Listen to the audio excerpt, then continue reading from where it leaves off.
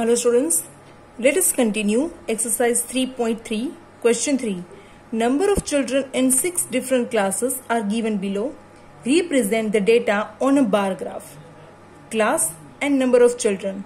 5th class 135, 6th class 120, 7th class 95, 8th class 100, 9th class 90 and 10th class 80. So first, how would you choose a scale? Second, answer the following questions. Which class has the maximum number of children and the minimum? Second, find the ratio of a student of class 6 to the students of class 8. So students, first of all, represent the data on a bar graph. Now students first, start the scale at 0. The greatest value of data is 135, right? And the scale at a value greater than 135 such as 140. Use equal division along axis such as increment of 10. Here we take 1 unit for 10 children. Why students we have this uh, we have taken this measurement 1 unit for 10 children because it is the as it is a perfect scale for this graph how? So look at first of all students. Look at the numbers of children. 135, 120, 95, 100, 90 and 80. So if we will take 5, 5, it will go so lengthy. Okay, it will big bar graph. And if we take the distance of 10, 10, it will be the proper scale for the given graph. Now B. First question. B's question is which class has the maximum number of children and the minimum? So the answer is maximum number of students are in 5th class and minimum numbers of students are in 10th class. Now second answer. In this question you have to find the ratio of students of class 6th and students of class 8. So number of students in 6th class upon number of students in 8th class. Okay. Now, first of all 6th class 120 and 8th class 100 is equal to cut 0 0 6 to the 12 and 5 to the 10 2 to cut.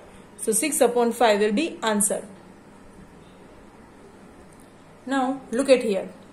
In the first you have to draw bar graph right. So first of all students look at here. In this way you have to draw. Horizontal line x-axis. It is vertical line y-axis. Here write down the numerical information.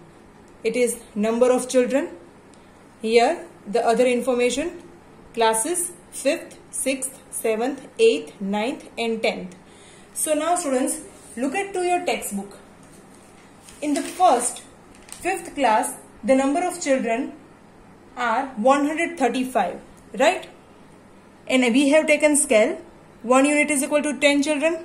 So, 0, 10, 20, 30, 40, 50, 60, 70, 80, 90 in this way till 140 because the highest number of children is 135. So 140 is enough. Now in 5th class 135 students are there right? So where is 135 it is between 130 and 140 so here is mark out. First of all draw line. Draw a bar 135 take the gap of 1 centimeter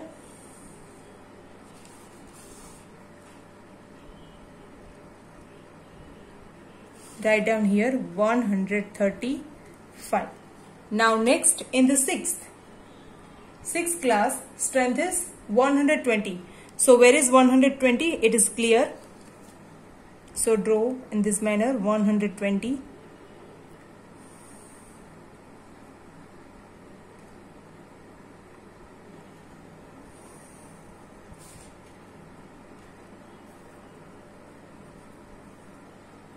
now next.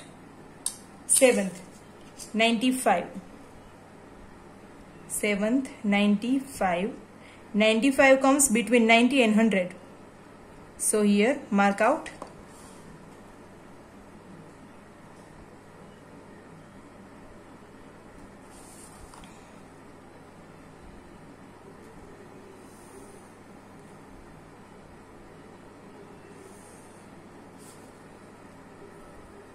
Ninety-five.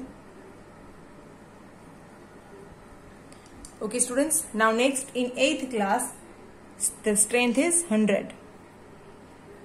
100 strength here.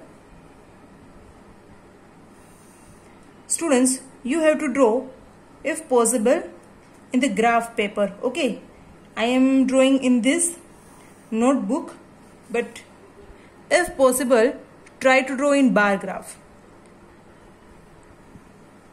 Now ninth, ninth is 90. Where is 90? Tail here.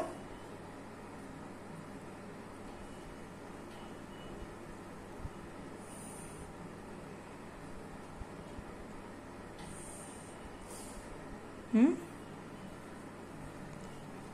Next 10th in 10th class 80 strength 80 till here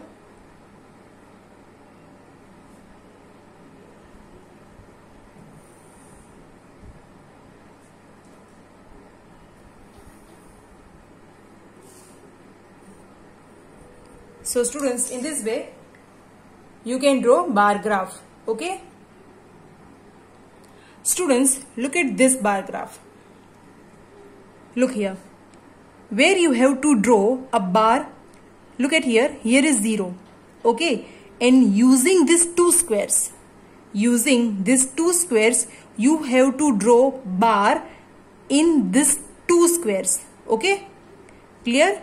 Take two squares and in the middle of these two squares you have to draw bar graph. I hope you understood it. Then put gap here. Then again take square. Look at here. Then take this square and draw bar. Now next little this gap. Then take two square. Using these two squares you have to draw a bar.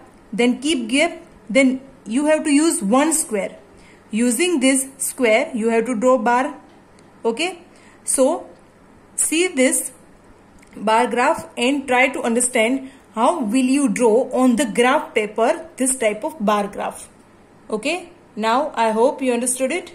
Thanks